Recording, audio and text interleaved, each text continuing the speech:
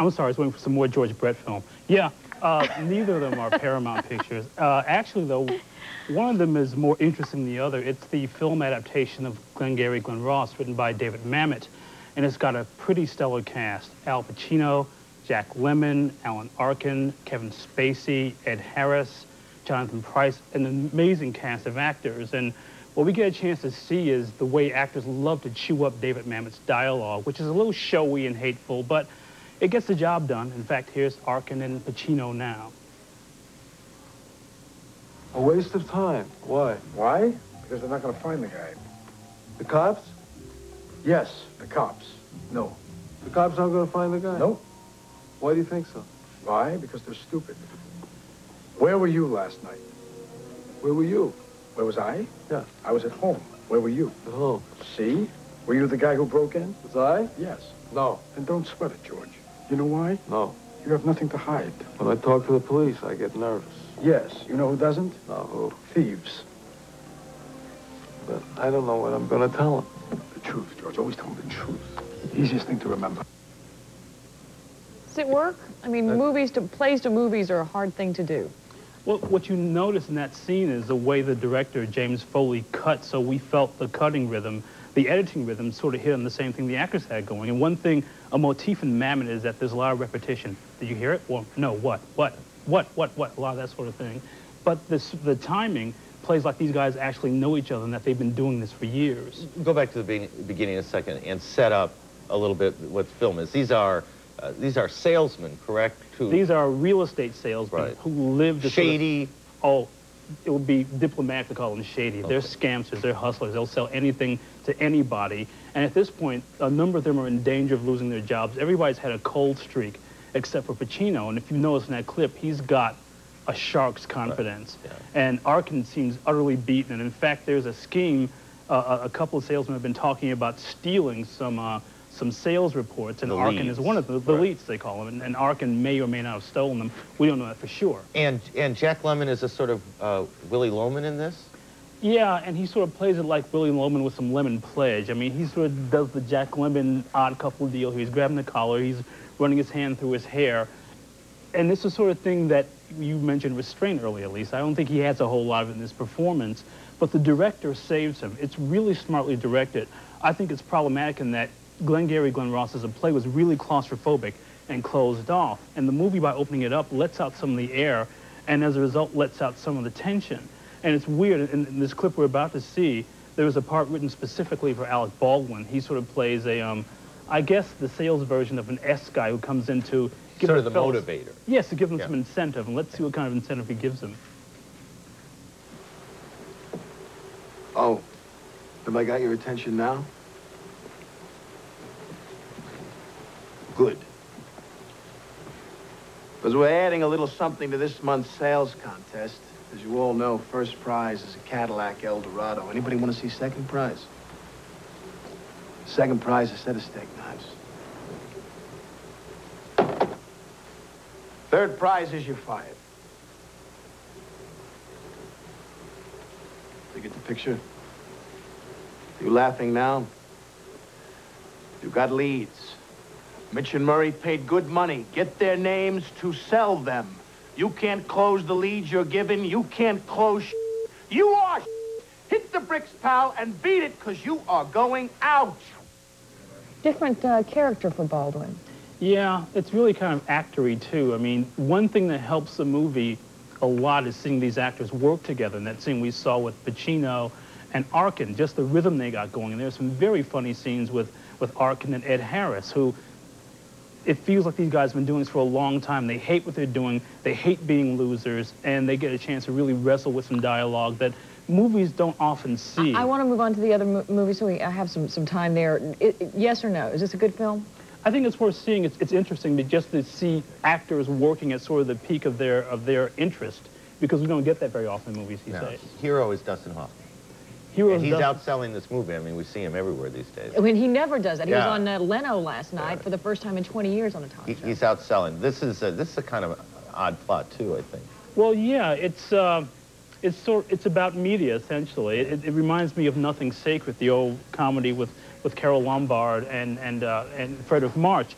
In this case, it's about how the media can sort of grab hold of the wrong person and literally make him a hero. Hoffman has saved uh, a, a plane that's crashed in the swamp. He saved everybody on it, but mistakenly, somehow Andy Garcia ends up getting all the attention. But in the performance, Hoffman, who's talked a lot about not being able to quite find a character at first, I don't think he ever does. He's a really, he could in fact be in Glengarry Glen Ross. He's a real sort of seedy hustler who does or will say whatever it takes to get the job done. He has a weird relationship with his ex-wife and his son. And in this clip we're about to see, we can see him sort of wrestling with the truth and not exactly getting it in the best hold.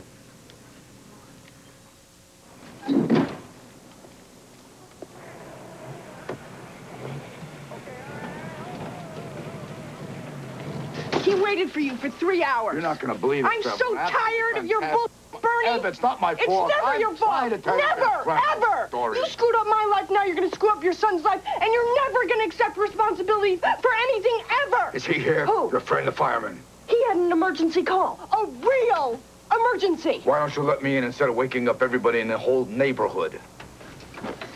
All right, if you let me talk for Christ's sake, I'll tell you what happened. What happened is the same thing that always happens. You blew it. Only this time, you broke your son's heart instead of mine. He was so proud, looking forward to going to the movies with his father, and you let him down like you let everyone down always. What'd you do, take a mud bath? That's what I'm trying. I don't want to know. Some fantastic adventure, right? Something really crazy. It's tough out there. It's a damn jungle. Well, back to the jungle, Bernie. So here is Hoffman, who in fact uh, uh, affects this rescue of people, and and there's, nobody a, there's a believes him. huge reward offered. Sure, and nobody believes him because he's such a scummy, hateful liar Yeah. that he's just coming from the rescue, and his wife says, well, you know, it must be some sort of, I don't care what fantastic story you tell me, I don't believe it. And that's where in the comedy supposedly lies, except you saw that performance, you wonder if Hoffman had one cappuccino too many. He can't keep still. He's jumping, he's, he's doing a Saturday Night Live version of Ratso Ratso Rizzo Rizzo. again, yeah. Yeah, except he can't stay still. Not that he stayed still in that movie, but here he's doing almost a burlesque of it. And it's like somebody told him he's com- this is comedy, so he's playing to the last row of the theater. And then the film takes us where you mentioned the, the theme of the media making a hero out of someone, which is a Scorsese played with with the the idea of media creating someone in King of Comedy. Sure, by inadvertence, anybody can become a hero through television, Right. for example. But what's, what's going on here is that this goes a, bit, a little bit further than King of Comedy or even Nothing Sacred. It just, it, it tries to sort of like crash two genres together, but the movie falls between those two stools, so it's really not very satisfying. And sadly enough, Andy Garcia, who I think could really have thrown a couple interesting spins on the character, has nothing to do with it, sort of look beatifically into the camera. And, and Andy Garcia is the one who is who steps forward in a sort of odd sense. In He a- sort of has heroism thrust upon right. him. He and becomes he's a the hero. Green Beret. Gets the money. Yeah. He's perfect for the part. Yeah. Have you seen this movie? You're real good at this. Thank you. I think we found a I'm new a media critic. Do this, broadcaster. do Oh. this, or this. I don't do that. Thank God I don't either. Um, and this directed by Stephen Frears, who uh, directed My Beautiful Laundrette and most recently did The I like Grifters, a- a, wonderful movie. And the, it takes a while to get started, but stylistically, once he gets hold of it, you get the feeling he knows what he's doing Does it and he make you knows what he wants. Does it make you think about? I mean, does it does it do anything to you? In, in 10 seconds. No, it's too obvious. I mean, you can figure out where it's going, not even knowing about the movie, which is a problem. You're Oh, always two steps ahead of it. Elvis, thanks. Nice to see you again. Good Come, come by again when Paramount doesn't have a film. We'll talk about it Pencil again. us in, babe. Thank you. Elvis Mitchell joins us this morning on World News Now.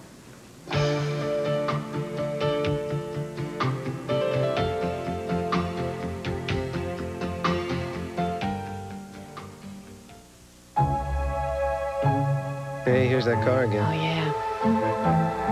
Wow, they're showing the interior. You like the interior? I love the interior. I wonder what it costs. I wonder what it's called. When you are making a list of the greatest achievements of this century, please consider Subway's 79 cent round sandwiches. We have taken the great taste of Subway, including our fresh baked bread, and made it round.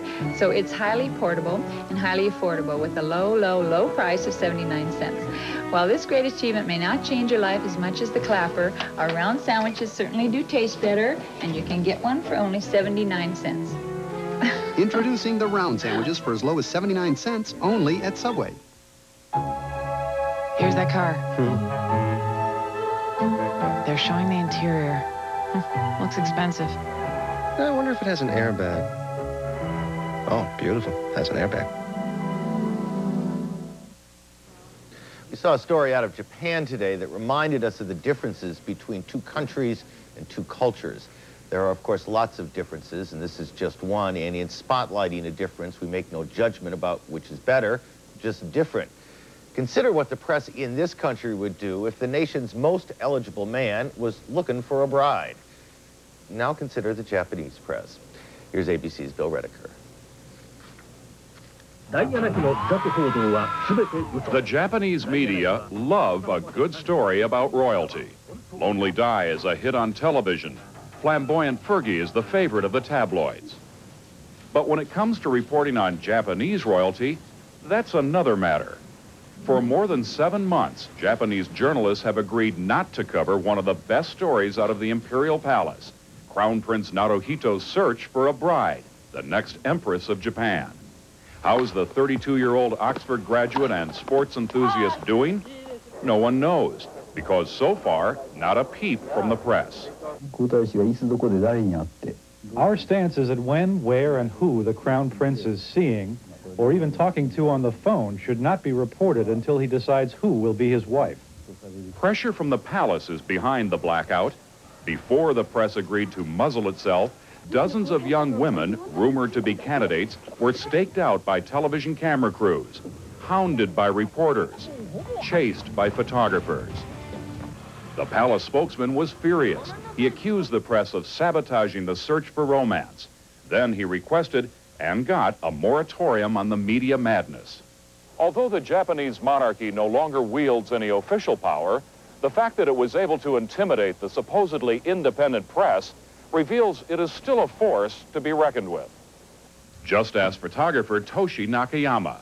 His palace press credentials were canceled after he took this candid snapshot at the wedding of the Crown Prince's younger brother and Princess Kiko. When it was published, headlines screamed, Look at her right hand. She's actually touching his forehead. Nakayama says his mistake was portraying the couple as human, not as gods. No one knows how close Japan's most eligible bachelor is to finding a bride, and indications are no one will until the palace makes an announcement. The ban on press coverage was recently extended for the second time. Neither the palace nor the press expect it will be the last.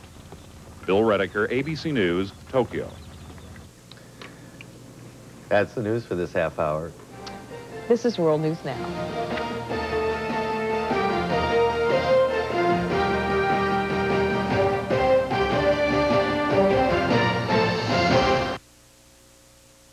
Mike Nukowski teaches graphic arts here at Kent Junior High. But for Mike, teaching kids these skills isn't enough. So his students set up their own classroom businesses to earn their grades. That way, he says, they understand how it feels to be responsible. Mike says kids have a right to learn about the real world. They deserve to know how to make good choices. Thanks, Mike, for taking the time for kids' sake.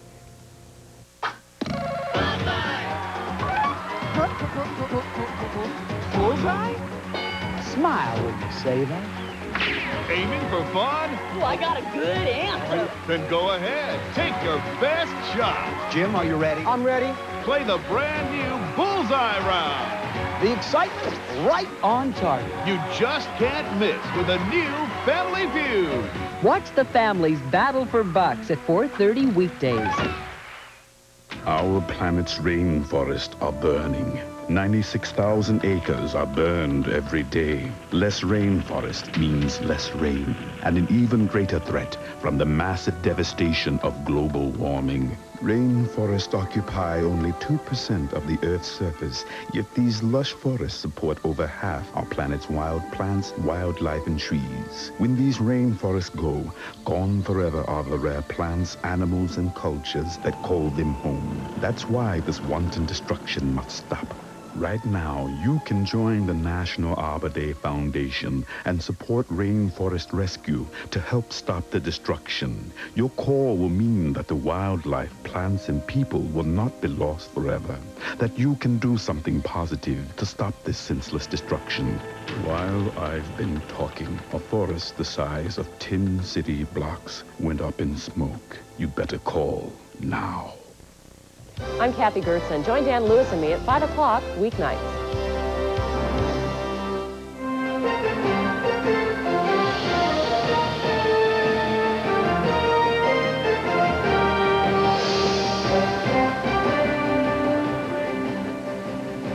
Hello from New York. I'm Aaron Brown. And I'm Lisa McRee. In the news at this hour, top aides to the two presidential candidates meet face to face to hammer out their differences over debates.